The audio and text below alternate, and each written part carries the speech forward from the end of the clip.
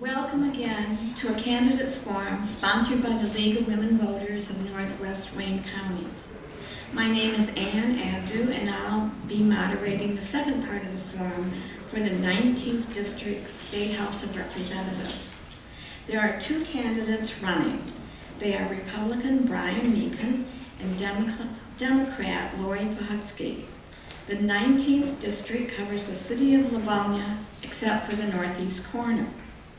The candidates were asked to prepare for a one-minute opening statement, and each will be allowed a one minute to respond to questions and two-minute closing statement. Mr. Meakin, will you introduce yourself and give your opening statement? Thank you. Good evening. I'd like to thank the League of Women Voters for hosting tonight's forum. I am Brian Meakin. I'm running for state representative in the 19th district here in Livonia. This election is very important, and we need to continue the comeback that Michigan is facing. I'd like to thank my opponent, Laurie Pohutsky, for starting her career in the public service avenue. I'd like to share a pertinent quote with you from President Ronald Reagan.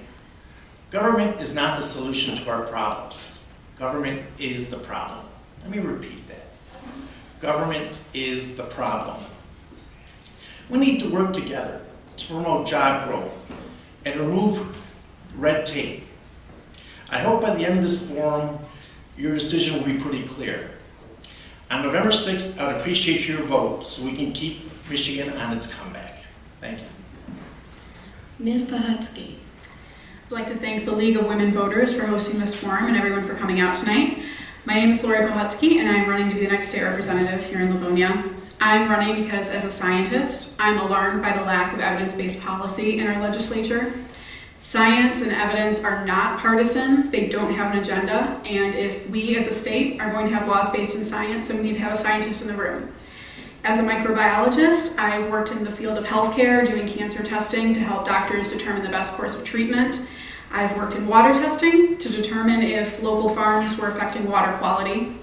And throughout my campaign, I have kept my day job because, like many in our community, my husband and I rely on two incomes. So I know what it's like to be a working class Michigander because I am one.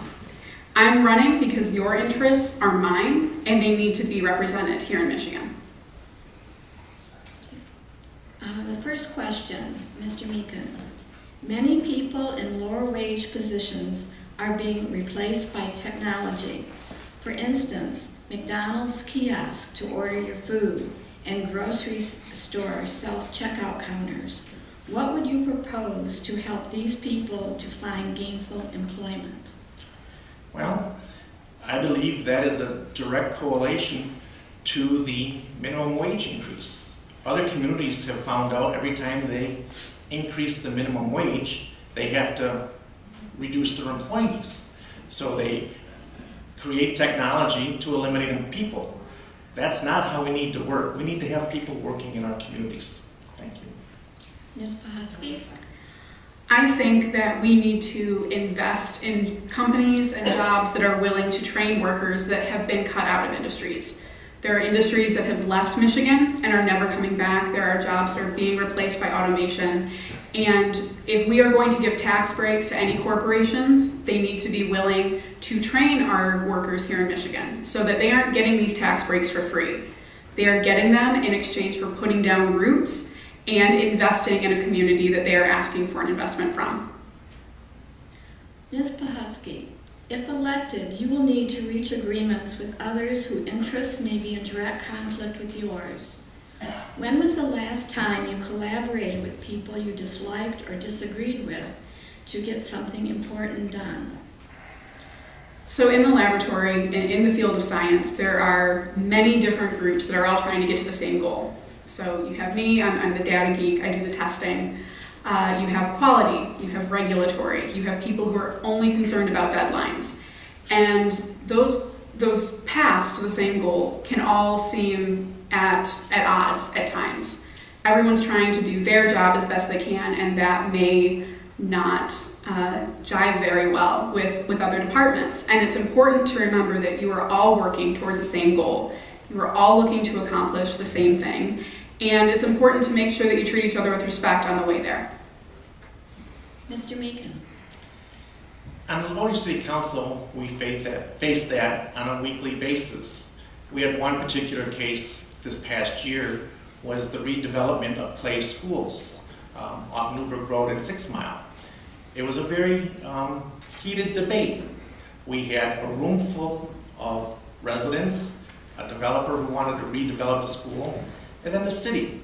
I mean, this side wanted one thing, the other side wanted another thing. Well, we worked together and came up with a solution that everyone could handle.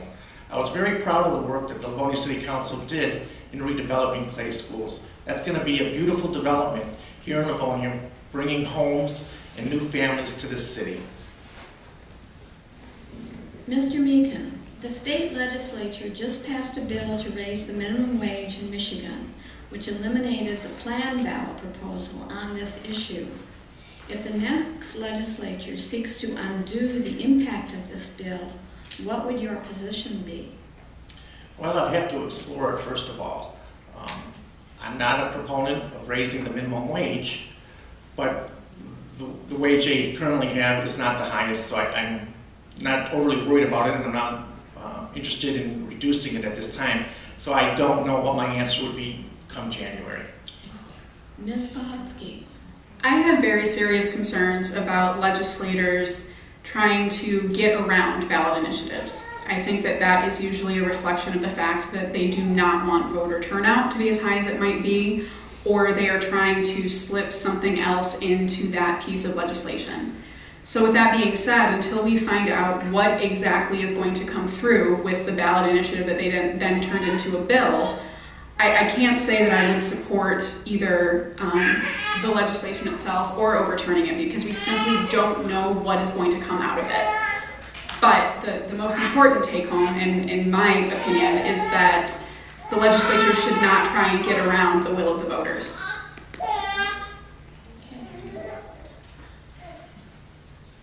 Ms. Pohutsky, if elected, what would you do to make yourself available to your constituents? So we have been knocking doors on my campaign, myself personally, um, since May of 2017. I have made sure that everyone I meet and anyone whose vote I'm asking for knows how to get a hold of me, be that through email, phone, uh, my website. But I've also been very clear that if I know where voters are when I'm asking them for a vote, I need to know where they are when I need to be held accountable to them.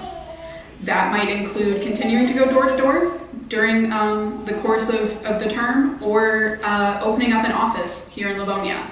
I think that it is important that um, a legislator remain an open resource to the community, and there are several ways of doing that, but I think we need to make sure that they are more accessible rather than less. Mr. Meakin? As an elected official, I'm available basically 24 7. I get calls at home, on the weekends, whenever the residents require. And as your state representative, I'll also hold office hours here in Livonia. But probably most importantly, I'll give everyone my cell phone number.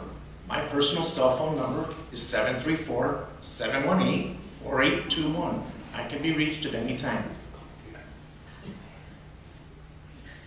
Okay, Mr. Meakin, what would you do to fix the roads in Michigan? Would you raise the fee on large trucks? We have to explore many avenues before we start raising fees. A fee is a tax, and I'm not interested in raising taxes or fees at this time. We have to go back and explore Act 51. That was our gas tax that provides the funding for our roads. Obviously, the road situation was much different back in 1951 than it is today. So we do have to explore that program for funding our roads. Um, we've done a good job of funding our roads in the last few years, but we need more. So we have to explore every other avenue we can before we increase any fee. Ms. Pohutsky? I do support lowering the weight restriction on trucks that come through here. Uh, currently, trucks are allowed to carry significantly heavier loads through Michigan than in most other states, and our roads show that. So I think that that weight restriction needs to be lowered. We need to open up the weigh stations that are frequently closed along our highways so that they can be enforced, and any fines that we collect because of violations need to go back into our infrastructure. I think that we also need to look at different materials that are more durable and made to last so that we aren't doing temporary fixes throughout the year. And I also want to look into getting warranties for some of our roadways. There is no reason that our roads should be deteriorating as quickly as they are. Ms. Pohutsky, recently a study was done that said we should be funding schools at $8,900 per student. How would you fund schools to bring up per pupil funding to that level? So in November, it is likely that uh, recreational marijuana is going to be legalized. That remains to be seen as whether that will be a positive or a negative overall, but what it will do is create a significant amount of tax revenue. And per the ballot proposal, that revenue is to go into education. And I think that that is an important way that we can increase tax, or I'm sorry, we can increase funding to our schools. Um, another thing that we need to do is no longer allow our tax dollars to go to for-profit charter schools. Those schools do not have to follow the same standards, and they do not have to accept all of the students that our public schools do. It is unfair to be giving tax dollars that are definitely needed by our public schools to for-profit charter schools. Mr. Meakin. Jennifer Granholm previously cut the 20J funds from Livonia Public Schools, and that put a hurting on our schools. We've been playing catch-up ever since. The previous, um, or the current administration has been working to increase public school fundings on a yearly basis. But that's not enough. We need to explore every avenue we can to increase funding for our local schools. Hey, Mr. Meakin, would you support legislation that would require equal pay for women? Why or why not? Of course I would support something for equal pay for equal, or for women. I am a small business owner. I have myself, who's the president of the company, and I have my sister. She makes more than I do. and she'll be happy to tell you that. But I'm also happy to tell you that, and I'm very proud of her for that. You know, there's many industries where women are the breadwinners, and it's important that they're getting equal pay to equal jobs according to, or with men. So I support women having equal pay. Ms. Pohutsky. I fully support equal pay for equal work. Um, we have seen that sexism is still very much present in our society, and I think it's important to note that while women make about 70 cents on the dollar uh, in accordance with men, women of color make even less than that. And we need to be very cognizant of the fact that that rate of pay disparity is more um, noticeable when you are a, a woman of color. So while we need to address systemic sexism, we also need to address systemic racism because that is also very much present here in Michigan. Okay, Ms. Pohutsky, do you support the marijuana proposal on this November ballot? Why or why not? I think that the marijuana proposal will increase a significant amount of funding for our state. I think that it is funding that is needed for our public schools. It is needed for our infrastructure. Other states that have legalized recreational marijuana have seen a decrease in opioid abuse, and I think that that is something we need to keep in mind. I am supportive of the ballot initiative because it seems that it has bipartisan support from the public. Again, as I mentioned earlier, at the end of the day, that is something the voters get to decide on. And if voters choose to legalize recreational marijuana, then the state needs to honor that. Um, I think that there could be several benefits for our state economically, and it's something that we should um, be, be open to if that's something that the voters choose to do. Mr. Meakin. Well, I completely disagree with my opponent. Uh, marijuana is not an avenue for economic growth. Look at Colorado. It's not been a success there. Nevada's starting to say the same thing and they just approved it. Look at the people coming to work every day with under legalized marijuana. Could you be a truck driver? No. Could you work in a machine shop? No. I mean, you can't come into work under the influence of marijuana. How are they keeping their cash?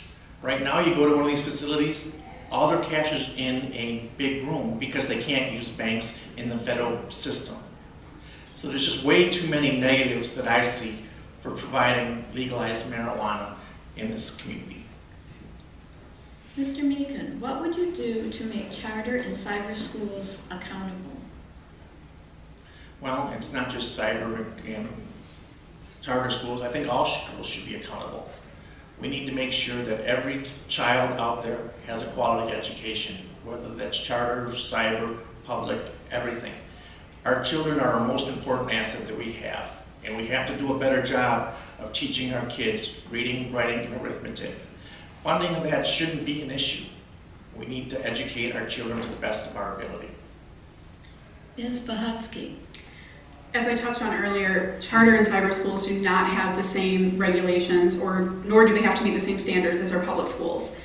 That is basic, um, particularly if they want our tax dollars, which I'm opposed to. But regardless, children deserve an education. Um, schools should not be able to cherry pick children. They should not be able to get out of meeting the same basic standards that our public schools do that is the most basic way that we can hold them accountable by making sure that they are required to educate children the same way our public schools are.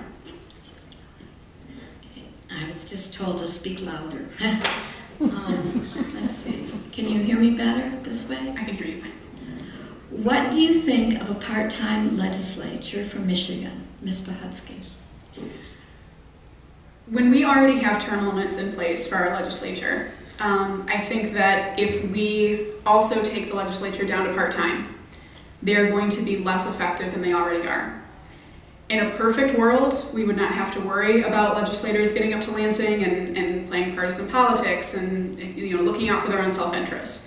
We are not in a perfect world. That is why term limits exist, and I understand that. But if we further, um, you know, take power and um, just opportunity away from our legislature to work together and work towards legislation, we're going to see even less get done here in our state. Mr. Meakin? I do not agree with a part-time legislature.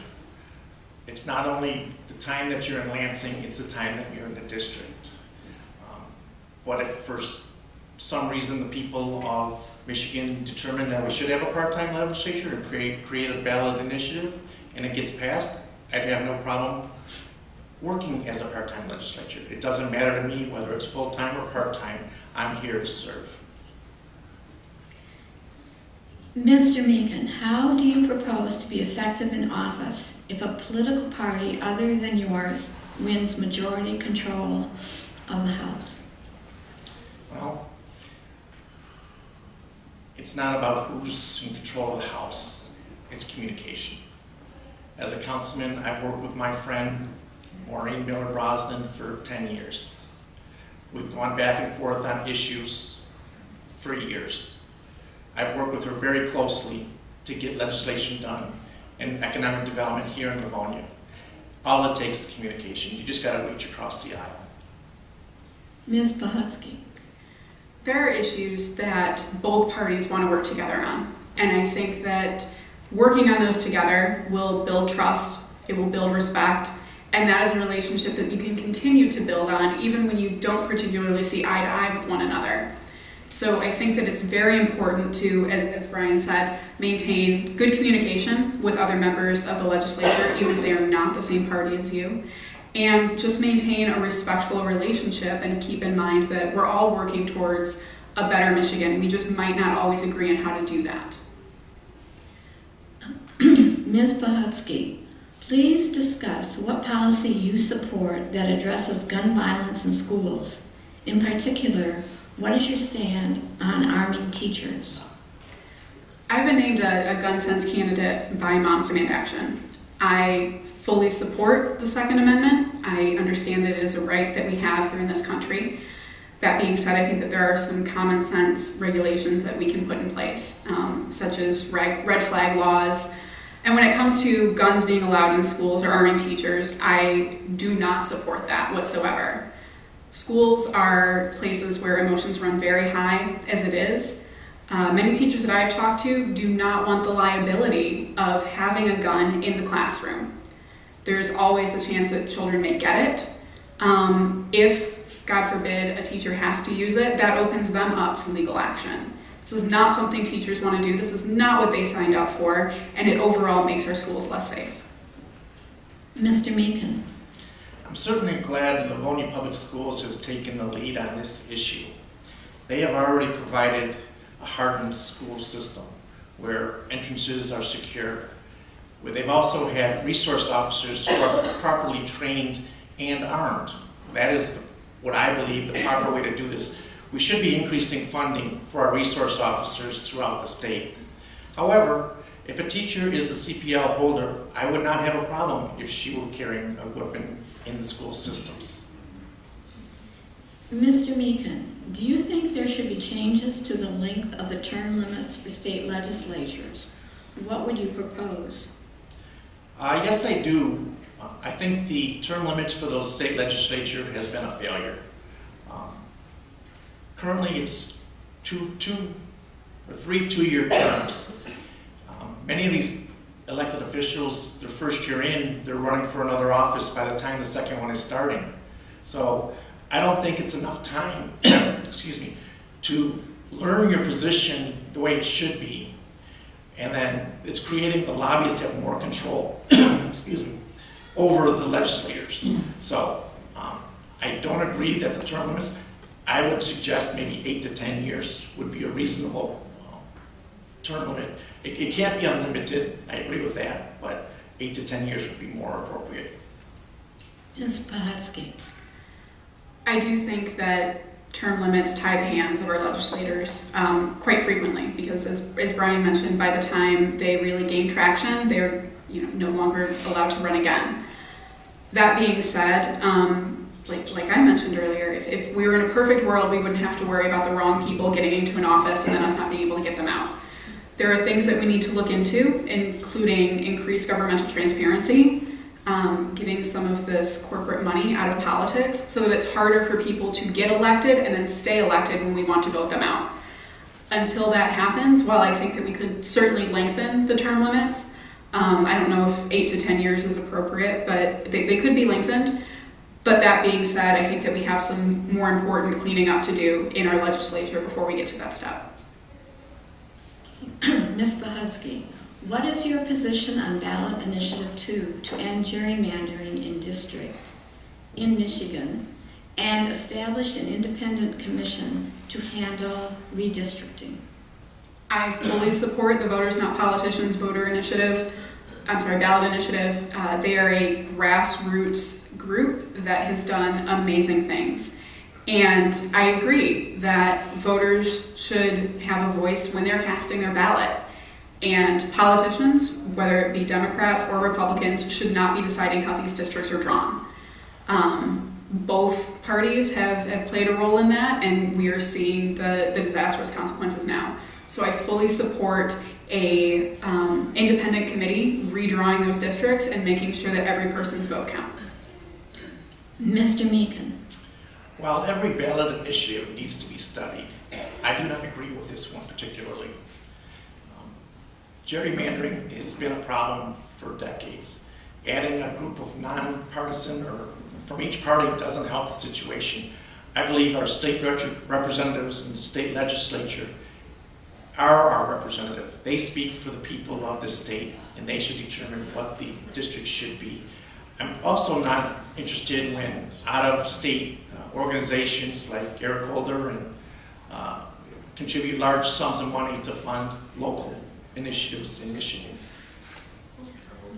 Mr. Meakin, some people in Lansing have proposed eliminating the income tax and replacing it with a 15% consumption tax to eliminate loopholes and make sure people pay their fair share. Do you support that? Why or why not? I'm not sure if I support it right now. I would explore avenues of reducing the income tax or even eliminating it altogether. But we have to have the full story of what's behind all the rest of it. It's not just a simple equation. Ms. Pohutsky. I do, do not support uh, the consumption tax and doing away with the income tax, that assumes that every person um, is bringing in the same amount of money, essentially. And we already have issues with the working class in Michigan being overburdened, while people up at the top, the top 1%, wealthy corporations, are not required to pay their fair share. So making it a uniform fee across the board is not going to solve that problem. That is still going to require that people people who have less pay just as much. And so no, I do not support that. Uh, Ms. Pohutsky, how can the legislator, legislature best support university level education and research? So one thing that we need to do to um, help university level education is make sure that we are not allowing our universities to court out-of-state students to the detriment of our in-state students. Um, I'm a graduate of Michigan State University, and in the the four years that I spent there, um, there were so many unnecessary additions and renovations done that were coming out of my tuition. My tuition was going up to fund those, and those are put in place to try and lure out of state students. And um, our, our in state students are paying the price for that ultimately, and that's something that we need our universities to be accountable for. They need to prioritize our in state students. Mr. Meakin. I disagree with the fact that we should be spending more on our research institutions for graduate work. Uh, we need to be focusing on lowering, lower education systems so we can create more skilled jobs, skilled trades jobs in this community. Working with Schoolcraft College and the other local colleges to get people to, to look at uh, to becoming a carpenter, a plumber, electrician. Those are the kind of jobs that we need to be focusing on. The, the research universities need to start spending their endowments that they've been sitting on for year after year. Billions of dollars are sitting there. They can use that money to fund their research projects. Mr. Meakin, as legacy costs increase, are you in favor of lowering public sector pensions that were already negotiated? Will you take away retirement health care to save money? Well, I believe that decision's already been made uh, at the state level and even at the local level here in Livonia pensions uh, have, our pension system here in Livonia has been closed since 1997, and our healthcare system has been um, closed since 2012.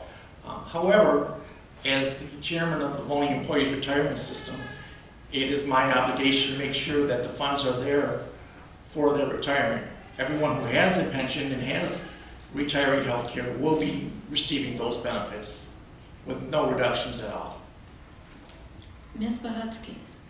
I am absolutely not in favor of that. If people were promised a, a certain amount of pension and a certain standard of health care, it is not fair to take that away from them. That is what they were promised, and people should not have to pay, regular citizens should not have to pay for a lack of foresight on the behalf of government. Ms. Pohutsky, um, do you support the ballot initiative to make voting more convenient? I absolutely support making voting more convenient. I support um, absentee voting for no for no reason, no stated reason. Um, I support um, voter mandatory, or I'm sorry, automatic voter registration at the Secretary of State. Um, I, I think that voting is one of the greatest privileges and rights that we have in this state. And the fact that it is made purposefully difficult for certain people is abhorrent we absolutely need to be making voting easier and more convenient for everybody unilaterally. Mr. Meakin. While I agree we need to make voting simpler for everyone, I disagree with this ballot initiative. There's a long list of items that just don't make any sense, especially straight ticket balloting. You know, people who are in the Livonia usually vote for the best person. It's not right that they can just go in and put one circle and vote for 25 different people, whether they know them or not. So I'm not in favor of many of the initiatives that are on that proposal. Who are the big, uh, Mr. Meakin, who are the biggest contributors to your campaign? Well, you're looking at them. I've contributed $5,000 of my own funds to my campaign. Uh, we've asked many friends and neighbors to contribute as well, and we'll continue to ask people throughout the state of Michigan. Ms. Pohutsky. I think we're seeing a theme here. I am also the biggest contributor to my campaign to date.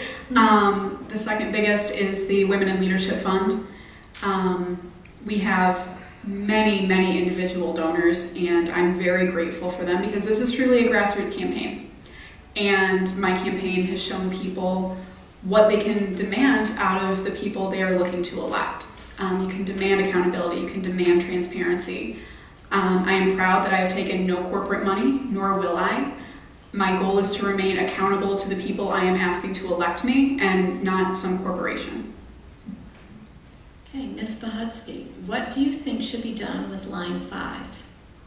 Line 5 needs to be shut down. I make no qualms about that. Um, it is not safe. Studies have shown that if it bursts, it will cost $6 billion to clean up and affect the environment for at least the next 20 years. Um, that is a Canadian pipeline. It goes from Canada and back up to Canada. Uh, the small amount of propane that they supply to the UP, Enbridge has already said they will continue to supply, even if that pipeline is shut down. It is in perilous condition. We cannot risk an oil spill to the Great Lakes. I cannot believe that in 2018 I have to make that statement, but we cannot. So I fully support shutting down Line 5. Mr. Meakin? Well, I disagree with that statement because, as we all know, winter's coming. If we shut down line five, how is the Upper Peninsula gonna receive their gasoline and oil? We, can't do that to the Upper Peninsula, we can't afford that economically. There are technical, um, things they can do for line five, like sleeving the, um, line. We do that here in Livonia currently. There are other, other things that the legislature and the governor are currently working on to make sure that nothing happens to Line 5. So we have to keep it open, to keep the Upper Peninsula viable and the economy moving. Mr. Meakin, Michigan has one of the lowest ratings for governmental transparency. Would you support the application of the Freedom of Information Act, Act to the legislature and the governor's office? Uh, currently, as a city councilman, I am FOIAable. So I do support uh, elected officials being FOIAable. Ms. Pohutsky? Absolutely. The fact that Michigan comes last in, in terms of governmental transparency is shameful. It is absurd that Dana can be FOIA'd, but people who are elected representatives in our legislature cannot. Um, we, we have an issue with trusting our government, and I think that that is one big step we can take, and one that should already be in place, to be honest. Okay. Other states have programs to train and assist those coming out of prisons into jobs and places to live. This has reduced crime recidivism. Would you support such a program? Why or why not? Ms. Pohutsky? I would absolutely support a program like that. When we have people who are nonviolent offenders and we are asking them to, you know, not turn back to crime, but we give them no resources in order to do that. We do need to make it easier for these people to re-enter the job force and and to train them for, for a field that will allow them to earn a decent living and not turn back to crime and not end up in prison again. Mr. Meakin? Our goal is obviously rehabilitation. Anytime we can train somebody after they get out of prison, it's a worthwhile adventure. We want people to be productive members of society. There are also many nonprofit organizations that are more than willing to help out in this category. Um, Mr. Meakin, um, Senator Patrick Colbeck proposed removing references to the KKK and Roe versus Wade um, from the state's history books.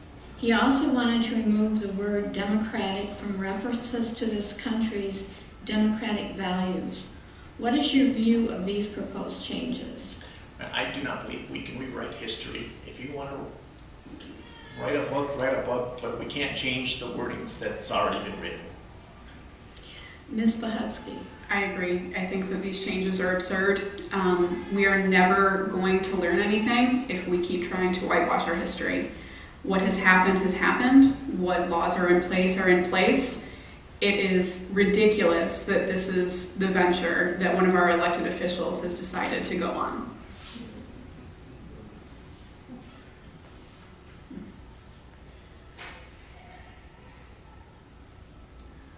Ms. Pohutsky, how would you differentiate yourself from your opponent? I think that I am more concerned about evidence-based policy, bringing a voice to working class Michiganders. Um, I am someone who has spent her adult life being an activist. um, which ironically is oftentimes diametrically opposed to politics. I ran. I began running for office because I saw a lack of representation in our legislature, and I think that we are seeing now more than ever, people are tired of, of a lack of representation. Um, so I, I am running because I'm a working class Michigander. I'm a scientist. I'm a woman. Um, these are groups that are not um, reflected in our government, and I think it's time that they were. Mr. Meakin. Well, first off, I'm a small business owner. I've been an elected official for 13 years. I have the experience to legislate. When we start January 1st, I'll be ready to go on day one. I've done this job here in Livonia. Livonia has a great reputation as a well-run community, and I'm quite proud of that. Um, I want to take the experience that I have here and do good things in Lansing as well, and I think I can do that. And I look forward to the opportunity to serve in Lansing. Mr. Meakin, do you support the continuation of healthy of the Healthy Michigan program? Why or why not? Uh, no, I do not. I, I just don't think more government health care is a means of um, lowering the cost of anything. I'd rather have the private sector create health care, go across state lines. There's many things that we can do to lower the cost of health care throughout the country. Ms. Pohutsky. While I support the Healthy Michigan program, um, I, I, know many people who have benefited from it. Um, I am actually a supporter of state-funded single-payer health healthcare. Healthcare is a human right, and as it stands, our federal government is not willing to take up that responsibility. I think we need to implement it at the state level. So while I support the Healthy Michigan plan, I personally think that we can do better. And there are people in the legislature who are already forming these bills, and I'd be happy to work with them once I'm elected. Okay, Ms. Pohutsky, as a candidate, you are asking voters to cast a vote for you. What is your personal voting record? Like, have you voted in all elections? I have. I have voted in every election. I may have missed a primary when I was in college, I won't lie to you. Um, but um, I have certainly voted in all of the generals and most of the primaries. Um, and in addition to that, I try and always be an informed voter. I don't just go in and, and, vote for name recognition. I try to learn about the candidates themselves. I try to learn about the ballot initiatives. That way I can go in and know exactly who I'm voting for and whether or not their values align with mine and what ballot initiatives, initiatives I support and which ones I think might help our state or our country in the long term and which ones I, I don't care for supporting. Mr. Meakin. Well, I can tell you this. I've voted in every election in this community for the past 20 years, whether that is a primary, a general, a special, a school board race, um, or any other election that we've had here in the city. Um, I think it is our right to get out and vote, and it is our duty as citizens to vote every single time we have that opportunity. Okay, Mr. Meakin. Do you think taxpayer dollars should be used to help MSU pay the $500 million settlement to Larry Nassar's victims? Well, do I think it should be used? No. But reality says it's going to be used because it's a public school. Um, state funds, our tax dollars are going to go for those settlements. Um, is it right? No, but it's going to happen because I, I see no other way that Michigan State's going to come up with money like that to pay for things, and it's completely wrong. The, these victims deserve every penny they're going to get, but uh, they are going to get their pay. Ms. Pohutsky. Absolutely not. Um, and I am not content with just settling for, well, that's the way it has to be. What happened at MSU is shameful. I have been very vocal about the fact that as a former student, I know there is a culture problem on that campus. It goes far beyond Larry Nassar, and it is something that that university needs to address, and they do not get to use taxpayer dollars in order to get out of this mess. Absolutely not. Ms. Pohutsky, if you don't win the election, how will you contribute to this community outside the sphere of elective office? I have spent my entire adult life as a volunteer and an activist. I, uh, at one point in time when I was in college, was a volunteer at the local crisis center. Um, I am currently a volunteer at Angela Hospice here in Livonia. Um, I have been members of, I have been a member of the Gay Straight Alliance on MSU's campus. I am currently a member of the Livonia Democratic Club, Indivisible. Um, I do trainings for Michigan People's Campaign. I do not intend to just take my toys and go home if I lose this election. We have work to do regardless of the outcome. Mr. Meakin, Well, if I'm not elected to the State House, that means I'd probably continue to serve on the Livonia City Council. But in addition to the Livonia City Council, I serve as the president of the Livonia Community Foundation. That's a permanent endowment to help local 501c3s here in Livonia, which I'm extremely proud of.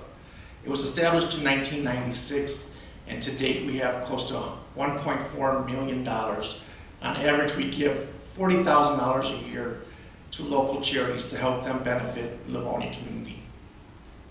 Mr. Meakin, do you support voters providing identification like a driver's license or state ID at the polls to vote on election day? Yes, I do. I mean, we can't go anywhere without showing an ID. I mean, that's the least we should be, have to do is show some kind of ID to, in order to vote. Um, When we go to, the Democratic Party has to show an ID to get into their convention. The Republicans do the same things, so the least we can do is show ID to vote. It's such an important duty that we have. We have to make sure it's secure, and that's the least we can do. Ms. Pohutsky, I think the important part of that is the state ID that you mentioned. Uh, you have to show a membership ID to get into the Democratic Convention. You do not have to show your driver's license. And we need to keep in mind that voter ID laws are based in racism. We know this. Um, I, I understand that um, we need to protect the integrity of our voting systems. That being said, there are ways to do it that are not disenfranchising and making it more difficult for people of color or people from lower income communities to vote. okay, Ms. Pohutsky, what is your stance on the current state of LGBTQT rights? I support expanding the Elliott Larsen Act to include the LGBTQ plus community. Um, the fact that it is 2018 and there are members of our community that are still not treated equally, that still face discrimination, and it is legal to discriminate against them, is um, disgusting, frankly. So I support any measure that we can to make sure that um, the members of the LGBTQ community are protected and are treated as equals. Mr. Meakin, I believe every many, member of our community should be protected and treated as equals. But I do not agree that we should create a list of who we're protecting and who we're not. All men are created equally. So I believe it's already taken care of in our laws that everyone should be treated the same. So I, I don't want to see us keep adding different things to include in how we treat people. We're separating ourselves as it is. Let's go back to basics and treat everybody well.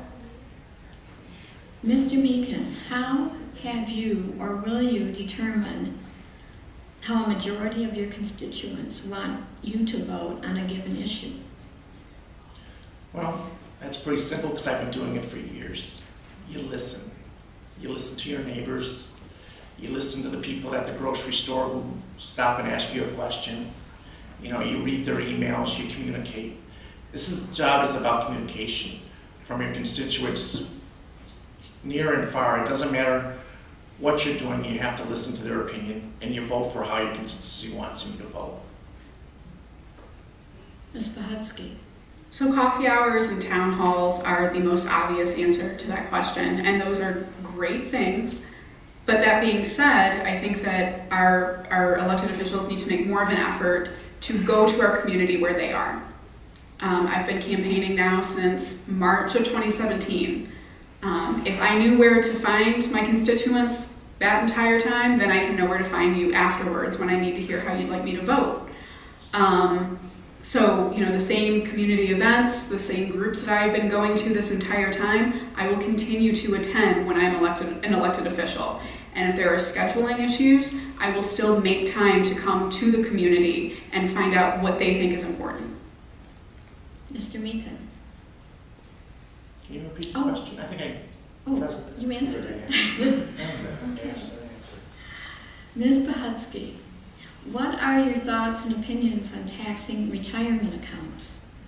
I am completely opposed to taxing retirees. I have been speaking to the community um, for about a year and a half now, and that is one of the top issues that I hear from or that I hear about. Um, we have a large retired community here in our district. That retirement tax is very detrimental to them. Um, it is unfair to ask someone who has been paying into a system their entire life to then give more when that was not budgeted for. They are having enough time living on a fixed income, trying to make ends meet with rising healthcare costs, with rising prescription drug costs. It is absurd to be taxing their pensions on top of it. Mr. Meakin? I would vote to repeal the tax on seniors' income. I've heard it from seniors at the senior center, Silver Village, Newburgh Village, across this great city. I even heard it just yesterday at a door that I was knocking on. She said, these senior taxes are killing us. Not only the senior pe- or pension tax, but the water bill. The fixed water is killing us, um, killing those of us on fixed incomes. So we have to explore how we're taking care of that. Okay. Mr. Meakin, in most other countries, all citizens have health care at reasonable cost or free. What would you do to ensure that all Michigan residents have health care coverage? Well, I'm opposed to national or state-funded health care. I believe it should be a private sector uh, industry. Um, Ten years ago, before Obamacare took over, the business community took care of a large percentage of it.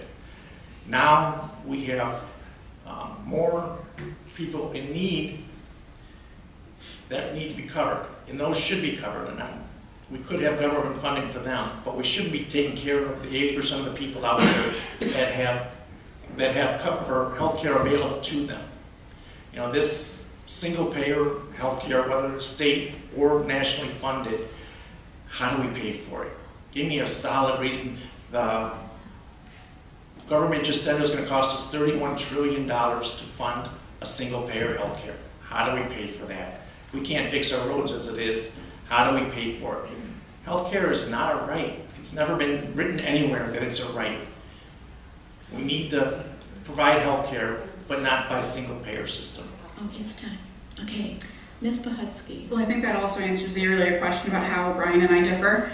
Um, healthcare is a human right. And um, in terms of paying for a state-funded single-payer healthcare, I have discussed at length um, the implementation of a progressive graduate income tax that would require corporations in the top 1% in the state to pay their fair share without overburdening the working class. I do not think that is going to be a simple undertaking. I understand that. That being said, it is inexcusable that there are 600,000 people in the state that do not have health care. Um, I, I'm sorry. Um, I believe that it is not your employer's job to provide you with health care. There was a time when that was not even a consideration. So I do not think that we need to continue privatizing healthcare. Um, insurance companies themselves are looking to turn a profit. And when we put people over profits, people never, or I'm sorry, um, people win. So that's what I support. Okay, this will be your last question. Since state prisons are privately owned, their motive is filling cells um, that can pro- be processed by, oh, I don't, I'm not sure what this, Maybe that's a question you should have replaced. let me try this again. Since state prisons are privately owned, their motive is filling cells, um, not rehabilitation. Um, how do you think this should change? I think that we need to end privatization of prisons. Um, we have seen it have disastrous consequences, even going down to our schools. When you look at things like the school to prison pipeline, Um, again, that goes back to putting profits before people, and that is not how our state should operate. Uh, prisons should be focused on rehabilitation, not just turning a profit for a CEO of some corporation that wants to own one. Mr. Meakin. I believe most of the prisons in the state of Michigan are state funded, not privatized. So we're spending millions of dollars every year uh, with state dollars to protect or to house our prisoners. Um, is there a good use for privatized prisons? Sure there are. If they can do it for a lower cost, rehabilitate them, and move them, make them productive people in society, absolutely. Um, let's lower the cost of housing our prisoners first, and then we can get rid of, get people off of our government control. Let's get them out of the prisons and into the community. It's now time for your closing statements. Uh, Ms. Pohutsky, will you begin? So again, I would like to thank the League of Women Voters and Brian for um, hosting and attending the forum tonight. Events like these are so important because as someone who is asking for your vote, I owe you accountability and transparency. I pride myself on being a candidate who is willing to answer tough questions and remain accessible, and that's something that I will carry on after I'm elected. As I mentioned earlier, I've been knocking doors in our community for a year and a half, and I've learned so much about my neighbors here in Livonia. I've learned that we have more in common than divides us. I have learned that we all have concerns about rising healthcare costs and a pharmaceutical company that is out of control. We're all worried for our struggling public education system and know that our educators in the community and the students that they teach deserve better. We are all outraged at the fact that so many communities in our state do not have clean, safe water to drink, and corporations are allowed to pollute our state with little to no consequence, including here in Livonia at the Ford transmission plant. These are issues that we can all unite behind. My platform is all about putting the residents of the city and their needs ahead of corporations and special interests. The question isn't whether, well, whether people first, evidence based solutions are right for Livonia. The question is why our career politicians haven't been ready for them. I'm committed to working towards them in the Michigan House of Representatives. So I'm asking that when you look at your ballot, you keep in mind that I will work for you, not wealthy donors and corporations, and I will always make your best interests my top priority. So I'm asking that you vote for me, Laurie Pohutsky, to be your next state representative. Thank you. Mr. Meakin. Well, I'd like to thank Ann and the League of Women Voters for hosting this evening's forum. I am Brian Meakin. I'm running for state representative in the 19th district here in Livonia. This is such an important election. Michigan has had an incredible comeback, and we need that to continue. Livonia has a great reputation for being a well-run community, and I take great pride in my role as a councilman. I'd like to take my 13 years of experience and take that to Lansing to build on those successes. Whether it's working with county and state government to fix the crumbling roads or fix the seven mile, which was a crumbling road. We approved body cameras to protect our police officers. We established the Livonia Community Transit System to transport our seniors to doctor's appointments and social activities. Lowering taxes whenever possible is key. Keeping Livonia as the lowest rated tax rated city in Wayne County has been vital. I'm asking for your help this November to keep Michigan on the right track. Fighting for our seniors, fixing our roads, and lowering taxes. I did it for you in Livonia. I can do it for you in Lansing as well. I ask for your vote on November 6th to keep Michigan on its comeback. Thank you. We'd like to thank the candidates who participated in tonight's forums. For the 7th District State Senate and the 19th District State House. We thank the City of Livonia for allowing us to use their facility for the forum tonight. Our forum has been videotaped and can be viewed on our website, lwvnorthwestwayne.org, around the 24th of September. We also thank the candidates for their willingness to serve the public and to the audience for such thoughtful questions. All of the candidates were also invited to participate in the League of Women Voters Voter Guide, a publication that you can access online by visiting vote411.org at the end of September. Print copies will be available in the libraries in early October. We urge voters to review the responses of the candidates on the voter guide before voting absentee or at the polls on election day. This is especially important this year since for the first time in over, in over 100 years, Michigan voters will not be able to vote using the straight party ticket option. Remember to study all the candidates and vote the entire ballot, including the nonpartisan judicial and ballot proposals. Election day is November 6th, and the polls are open from 7 a.m. to 8 p.m. If you vote in person, you will be asked for a picture ID. But if you do not have a picture ID or don't have it with you, you can still vote by signing an affidavit of identity. We urge you all to be participants in our democracy by making educated choices in the November election. This concludes our forum this evening. Thank you for coming.